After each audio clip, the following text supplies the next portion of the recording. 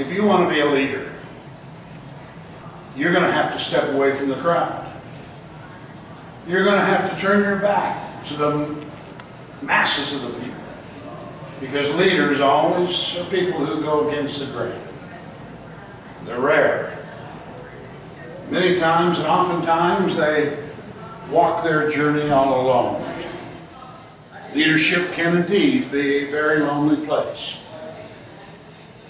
But if you're anchored on the inside, if you have a spiritual root that grows deep, a personal relationship that has been linked together with the greatest leader of all, Jesus Christ, then that lonesome journey is not so lonesome because you know you've never been left alone.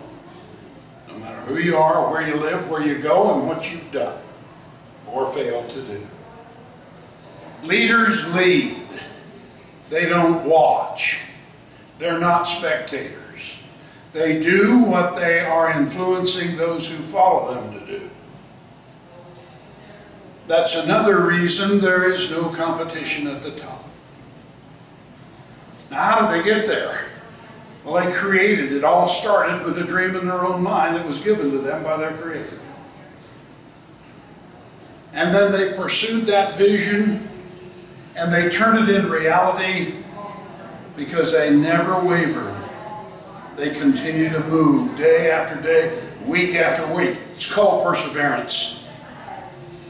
And then when God chooses the right time, things fall together, hand in glove, and you wake up one morning and you've earned the right to lead others.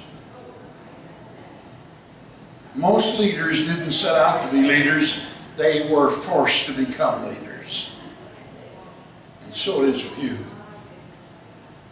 If you want to make it big in life, you've got to follow somebody who knows who they are and where they're going.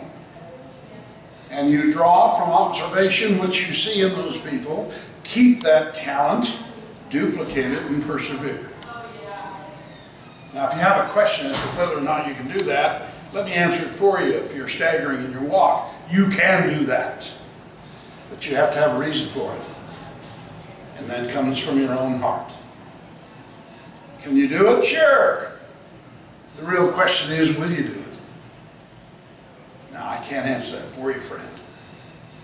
That comes from your own heart.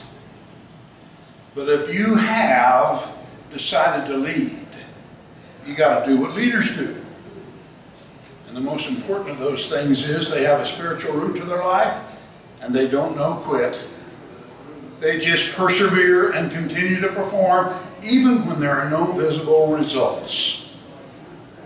Because success is an inside-out proposition. And I want to tell you, if you want to succeed, it's going to start inside and it may take a while before it ever comes into existence on the outside. Quit measuring your length of time. That's not your choice. Stay steady, steady, steady, steady, on, on, onward. And when God decides it's right, He'll let it all materialize. And you'll step back in awe and wonder what you did to ever deserve the rewards and blessings that will shower down upon you. I believe in you. I know God believes in you. Do you believe in you?